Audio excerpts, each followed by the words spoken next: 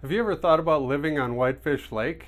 In this video, we'll tell you everything you need to know if you want to get a house on Whitefish Lake. We'll talk about the different parts of the lake and what to expect with homes in these different areas.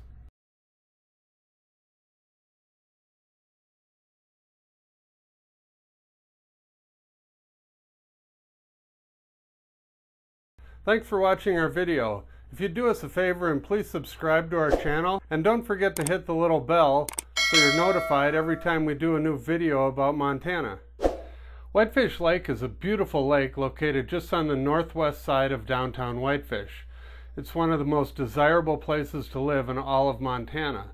The lake is about seven miles long and about a mile wide in some places, and there are homes located all around the lake except on the west side when you get just north of Beaver Bay all the way up to Delray Road. As you can see on this map, I have broken down the lake into four different sections. Each section is unique to the others, and each one has its own pros and cons. Let's start by looking at section 1. We will call this section the state park area. All right, let's zoom in a little bit on the map here for the state park area. As you can see, we're calling it the state park area because the Whitefish Lake State Park is right here. And you access this section of the map that I've created, you access from two different directions. Basically, you come down State Park Road to access this northern part. And you'll see on the video that I shot here, we, we come right down State Park Road and turn right and come down Lake Shore. And there's a dead end in here that I will show you.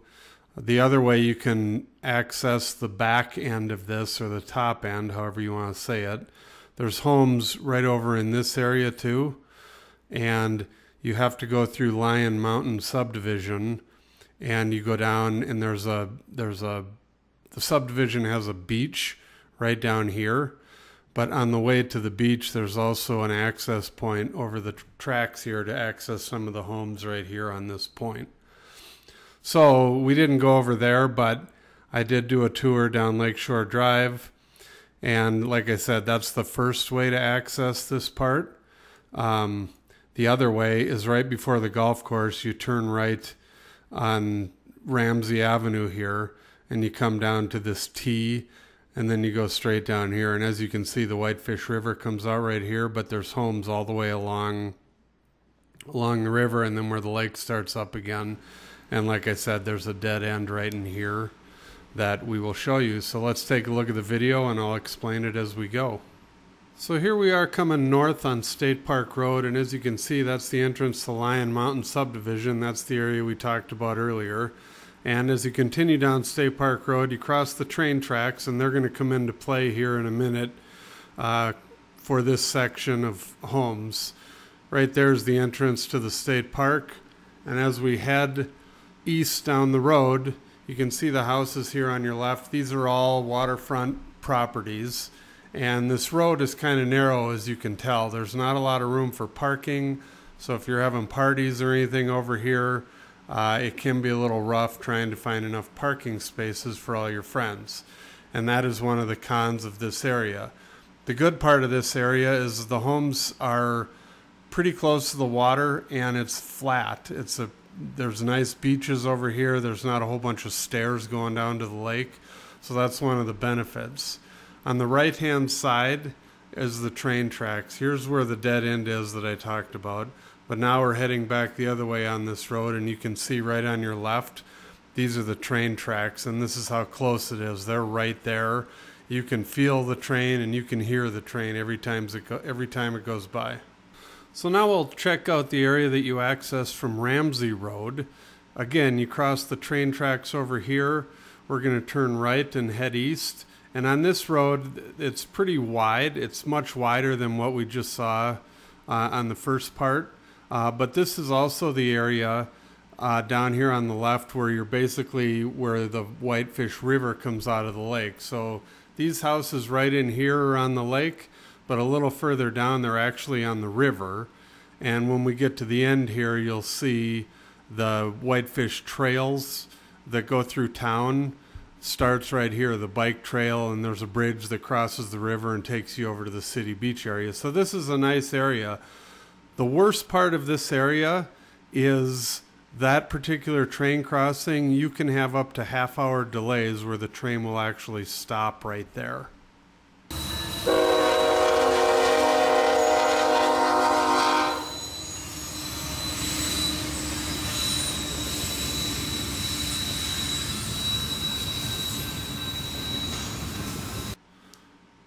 So as we head back west on Birch Point Drive, you'll see that the road gets really narrow again, kind of like it did on the other side. And this also ends in a dead end up here. But the thing about this little section is, again, very narrow road and even the lots are narrow here. The good thing is these houses are right on the water. And so you're, you basically your deck is looking right over the lake. But the bad thing is, as you can see, there's just, there's no room for many cars uh, to even turn around right in here. So it's a very narrow section, but a very nice area too because you're close to town and you're right on the water. And you have beautiful views straight across the lake up towards the ski resort. So that is what the state park section looks like as we drove around. Let's take a look now at our MLS and I'll show you what's sold over there over the past year. There's been five sales and the price ranges are we have the first one sold for 1,175,000 on Beach Lane and the top sale over in that area was 2.585 million. So let's take a look at section two on my map, and that's what I like to call the town area of Whitefish Lake. We're going to start down here at City Beach and tour around Lakeside Boulevard and then come down to Dakota. We'll come into Bay Point, which is a condo complex that's right on the water, and uh, head back on Dakota. Then we hit Wisconsin Avenue and you head north, you'll go past the lodge at Whitefish Lake. There's some condos here as well that are part of the lodge. And then you come around the corner, and this is called Houston Point, and that's kind of the end of my town section. There is a, a bike trail and walking trail that goes all the way along Lakeshore Drive in Wisconsin and takes you into downtown. So, like I said, this is all part of the town area of the lake.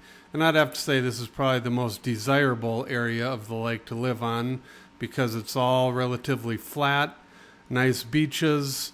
Um, the only downfall of this part of town, and it's not all of it, there's just some areas, uh, there are some shallow spots.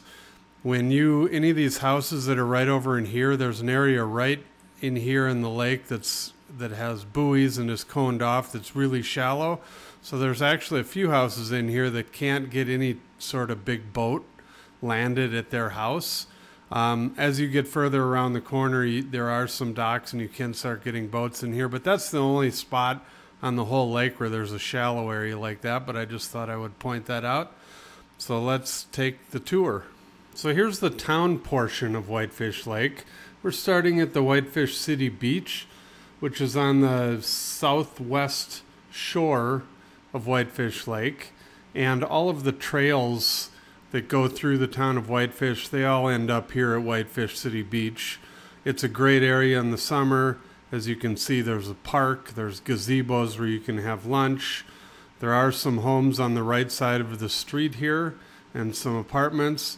But then on the left, you start getting into the really nice homes. Again, flat beaches, nice lake shore, nice access, beautiful views of uh, the ski resort. And as you come up over the hill, we're going to get onto Dakota Avenue, which we're going to be heading north on Dakota. And all the homes on the left side of the street here, they are right on the water. And again, flat beaches, very nice. Some of the homes a little further down have been torn down, the older homes, and new custom homes have been built in their place. Very expensive, very desirable spot here on Dakota Avenue. You're right in town, uh, close to downtown. You turn left off of Dakota and you come in here. This is called Bay Point. There's uh, boat ramp. There's boat docks for your boats It's a big condo development. You can buy condos in here. These all rent night, nightly and weekly. Another great area right on the lake.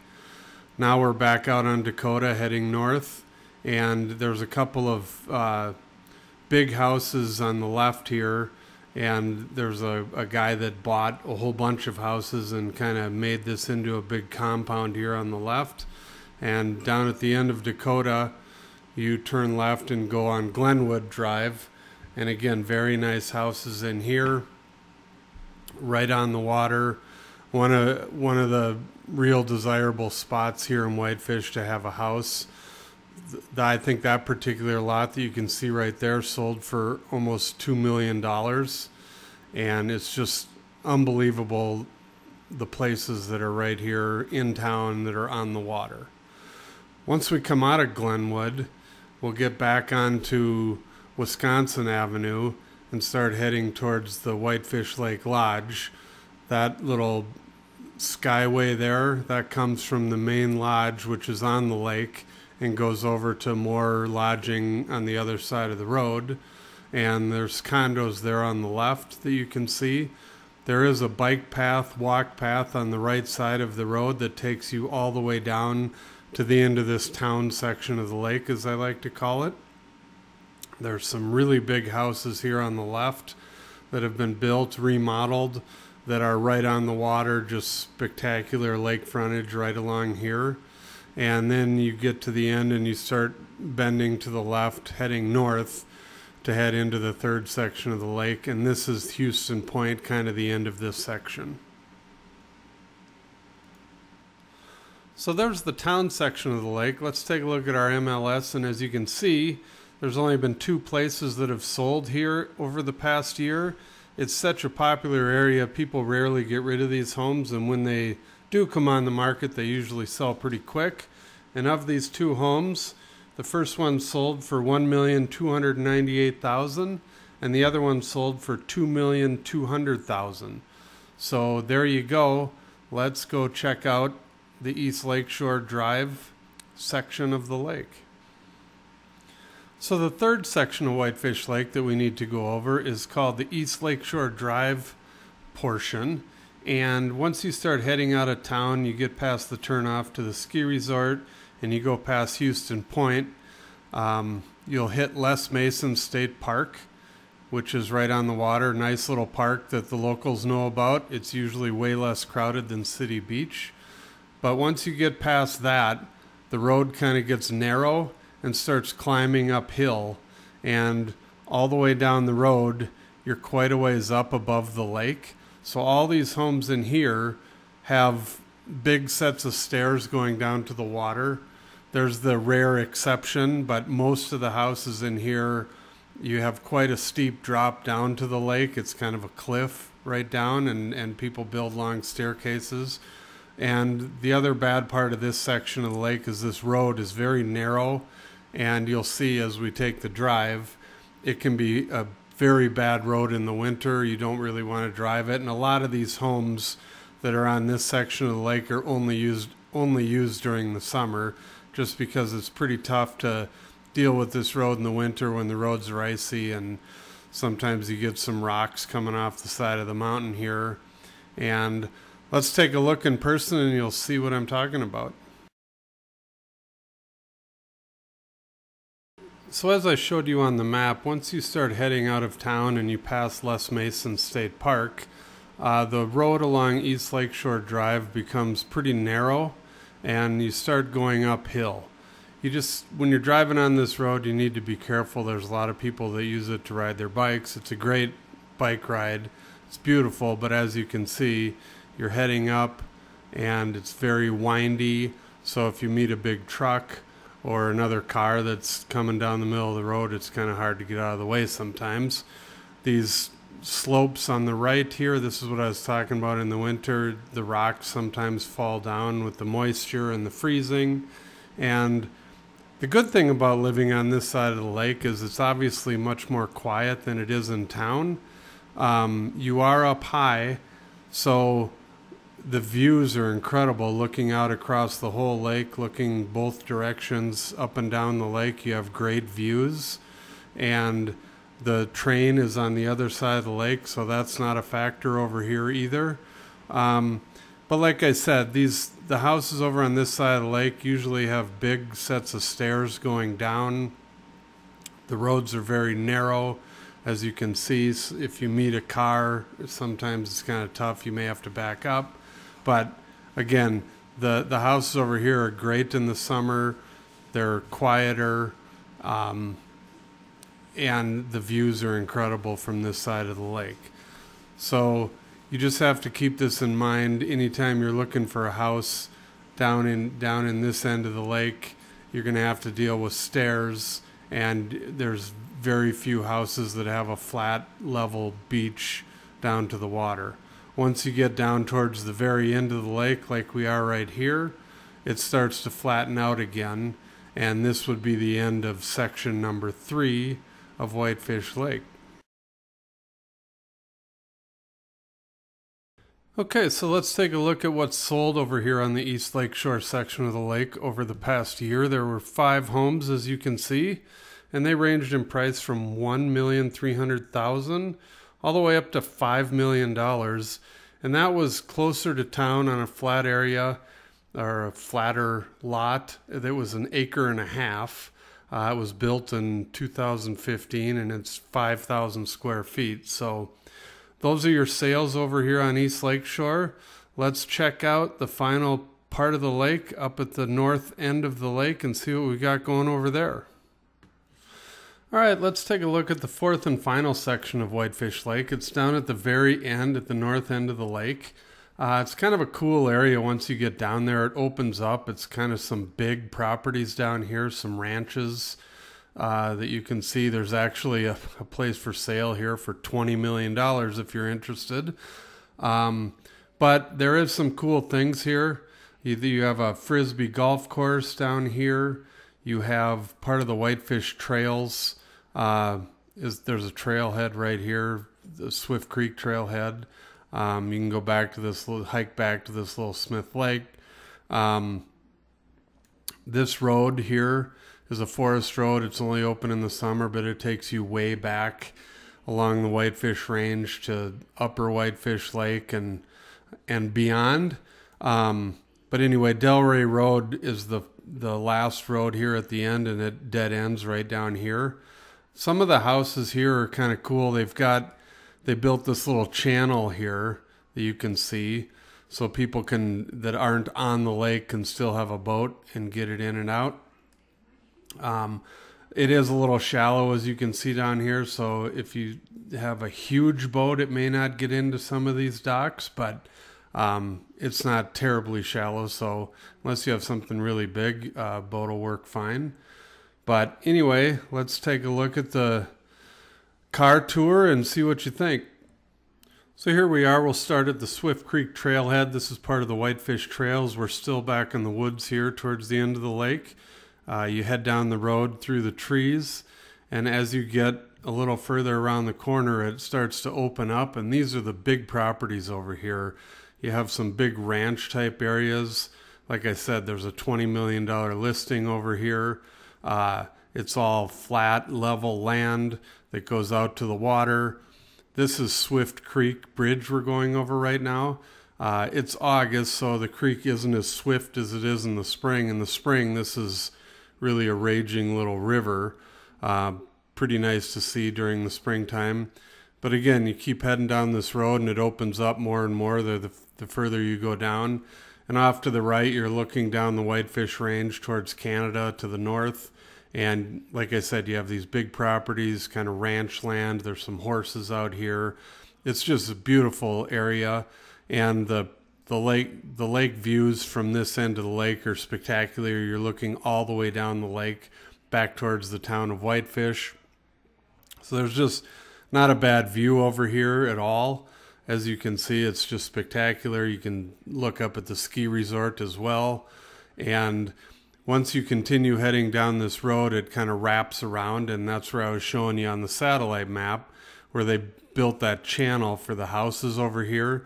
So there's quite a few houses that aren't right on Whitefish Lake, but they still have lake access because of that channel. So they can get their boats in and out and utilize the lake from from this end. And it's really quiet down here. Uh, there's no traffic really down at this end of the lake. As you come around the, the last corner there, you're back in the woods. The only negative is just to the right here is the train track. So you're dealing with the train noise again, like we talked about some of those places in town. But then the road just dead ends, and this is the end. It's about exactly 10 miles from here back into downtown Whitefish. So let's take a look at what's sold down here at the far end of the lake. Uh, we had four sales during the past year, and they ranged in price from 1,825,000 all the way up to 3,850,000. So that completes our tour of Whitefish Lake. So as you have seen, Whitefish Lake is a beautiful place and the homes around it are awesome. If you'd like a full list of anything that's currently available on the lake right now, feel free to contact us at any time. We'd love to help. Or if you'd like a tour of any of the houses, we'd be happy to set that up for you as well. Thanks for watching and we hope to see you next time. Thank you for watching our video and please don't forget to subscribe to our channel so next time a video comes out you will be notified. Our information is on the screen so please contact us at any time and we look forward to seeing you in our next video.